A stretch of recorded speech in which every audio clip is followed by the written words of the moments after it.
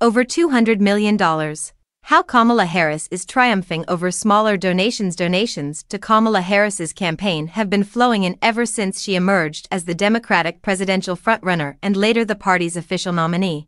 Following President Joe Biden's departure from the race a little over a month ago, this Thursday, Harris's team announced that it had raised approximately $540 million during that time, the most of any political campaign in such a short amount of time. This fundraising milestone is significant, said Patrick Frank, former outreach director of Act Blue, the largest online fundraising platform for the Democratic Party and outreach director for Lunda, a platform for small donors fundraising in Europe.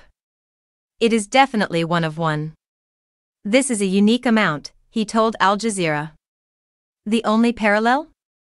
I would say that there's probably some comparison out there to disaster relief funds that are able to generate just as much, he added.